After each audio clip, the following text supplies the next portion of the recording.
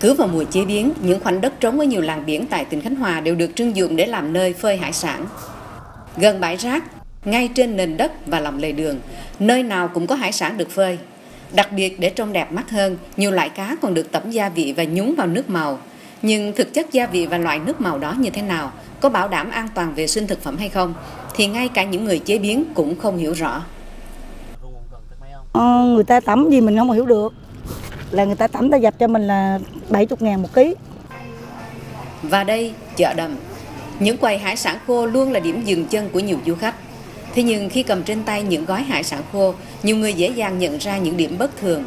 Nhãn mát sản phẩm chỉ có tên của cơ sở bán hàng chứ không có tên cơ sở sản xuất, ngày sản xuất. Một số khác thì nhãn mát đơn giản chỉ là tên của các loại hải sản.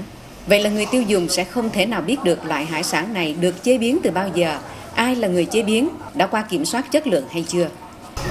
mình đi mua một cái sản phẩm nào đó thì mình nhìn vô thì mình cảm thấy là mình mua liền được còn cái này mình phải còn hỏi để cái nó, cái này cái nó mới này nó cũ Tại sao lại không có ngày sản xuất à? thì thường thường ta đóng có thể đóng quên hay như thế nào chứ cũng phải bà có ngày sản xuất ngày sử dụng chứ Quên, một lý do rất khó chấp nhận đối với nhiều người, bởi ở đây không phải chỉ một mà hầu hết những mặt hàng hải sản khô đều như vậy.